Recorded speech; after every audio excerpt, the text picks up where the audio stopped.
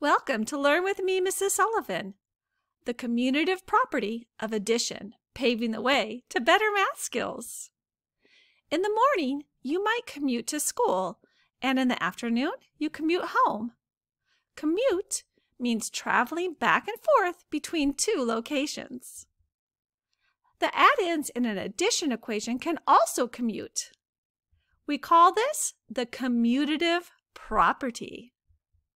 The commutative property means you can change the order of the addends, but the sum stays the same.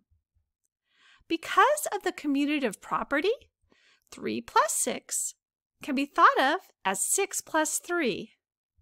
Why is this a big deal? Well, let's take a closer look to see why this makes a difference. 3 plus 6 means starting at 3 and then counting on to add 6 more four, five, six, seven, eight, nine.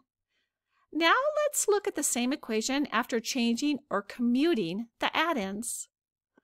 Now we'll be starting at 6 and counting on to add 3. 7, 8, 9. Did you notice a difference when starting with the larger addend? Let's look at an example with a larger number, 2 plus 39 which, thanks to the commutative property, can be thought of as 39 plus 2. Wait, why is this important? Well, would you rather start at 2 and add 39 or start at 39 and add 2? Starting at 2 and counting on to add 39 would take a long time and you could lose your place and you definitely can't use your fingers. Starting at 39 and counting on 2 is quick, and you could even use your fingers. Starting with the larger addend is better, faster, and easier. The commutative property is awesome because changing the order of the addends allows us to solve the version of the equation that we find easier.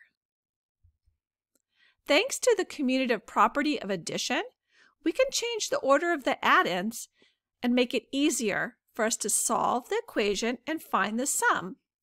You can change the order of the addends, 5 plus 20 or 20 plus 5. Either way, the sum stays the same. It's 25. You can change the order of the addends, but the sum stays the same. That's the commutative property of addition. Please like and subscribe. And here's some other math videos on Learn With Me, Mrs. Sullivan that you might enjoy. As always, thanks for watching Learn With Me, Mrs. Sullivan, the commutative property of addition, paving the way to better math skills.